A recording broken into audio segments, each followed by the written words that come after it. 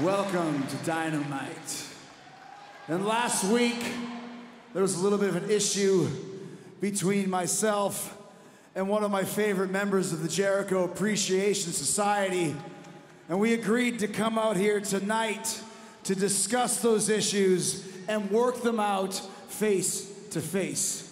So I want to bring out right now one of my favorite people in the world today, a future world champion and my protege, Daniel Garcia. Well, Taz, after that two out of three falls match last week at Dynamite, the fans were chanting, You're a wrestler at Daniel Garcia. Yeah, they, they look at Garcia. He's not a sports entertainer. You could just read this young man's face. He's conflicted right now. You could just see it. His body language, JR, is pretty evident. I think that's as a result of his relationship with Jericho because obviously these two guys are very, very close. Does it have that much to do with who's a sports entertainer and who's a pro wrestler? I'm not so sure about that. I think two weeks ago when I was in the ring with Garcia and Danielson, you could see that Danielson was getting to Garcia at that time about the things he was saying about the young man's career. I think it started then.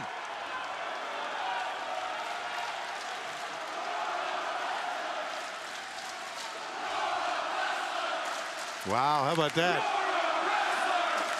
Fans have made their made their vote. I'd say that's a compliment. Absolutely. I, I'm trying to be civil about this. Trying to be civil about this. Please shut up.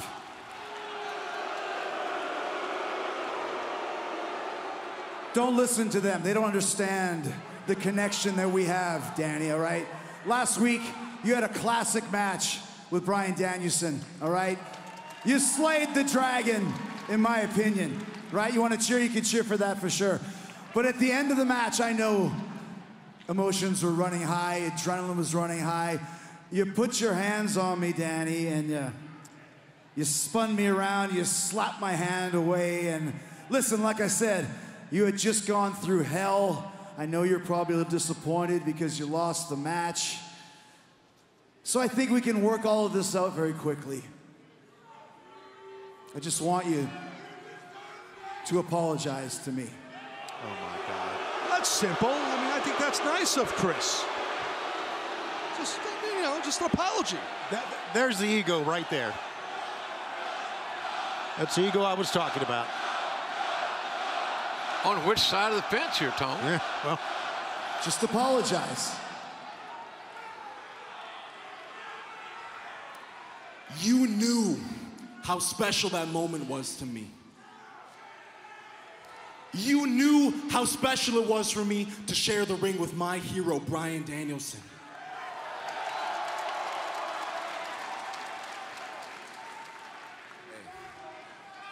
Thirty minutes with my hero. People are calling it the greatest match in Dynamite history, and it's not even close.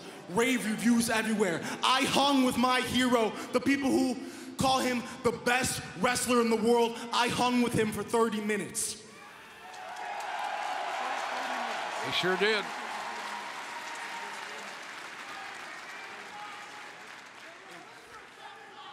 That match that I had last week, it's the kind of match that I always dreamt of having when I was a kid. When I was sitting at home in Buffalo with my mom, I dreamt of having that kind of match, and I got to have it last week. And I could only hope there's somebody watching at home. Let it be my nephew, my little cousin Trey, a random kid anywhere in the country that wants to have that match too. I want them to feel the same way that I felt.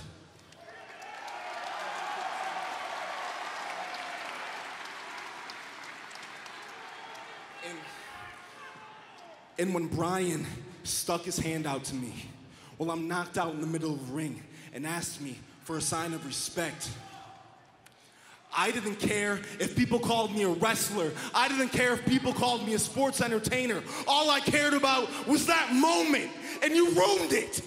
You ruined that moment for me, Chris.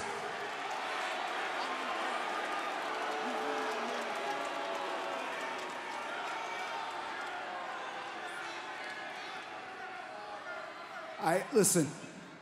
I'm sorry that you feel that way, but I want to I want to remind you there's going to be plenty more moments like that for you, Danny, because you are the greatest technical sports entertainer in the world today. It's true. It's true. It really is. And deep down inside, you know you're a sports entertainer. And now I just want to hear you say it.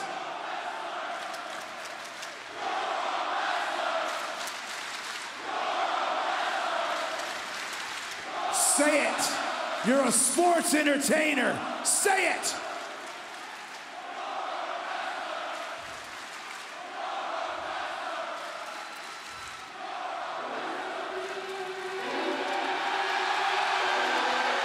Well, well, well.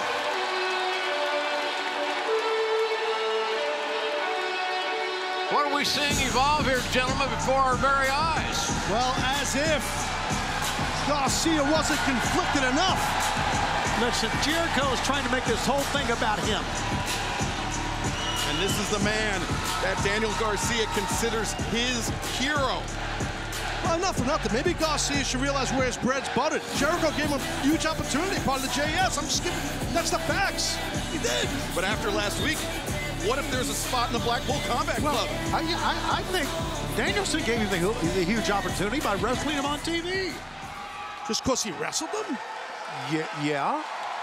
I didn't know Danielson was the matchmaker. Give me a hard time, Schiavone.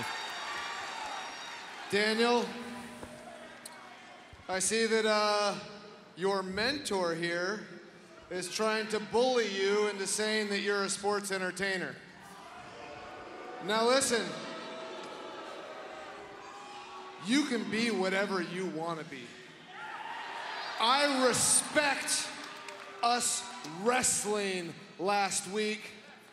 And in my opinion, I agree with all these people that you're a wrestler.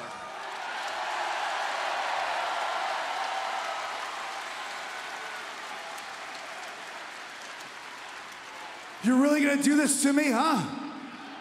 You're a sports entertainer, Kid's put in a tough spot here, and I wanna hear you say it right now. Look at me. Come on, Chris. Say it. Tell me you're a sports entertainer. Stop it! Stop it!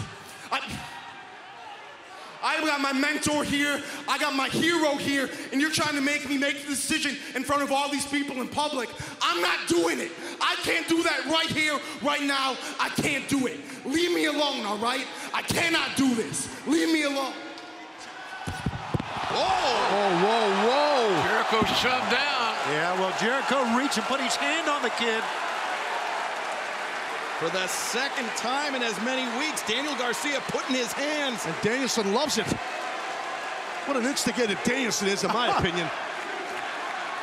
Taz, What an incredulous look on the face of Chris Jericho, who now has two reasons for redemption. this is all Jericho's fault. He's making it about himself. It's... And the fans are doing the right chant right now.